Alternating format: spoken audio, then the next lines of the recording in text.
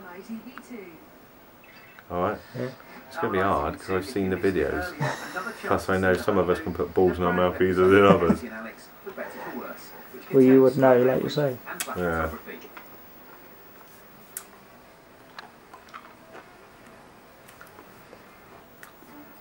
How, how are they? They're not that bad. I've had worse. Have you? Yeah. What, you've had bigger balls in your mouth? No. I've had worse sweets.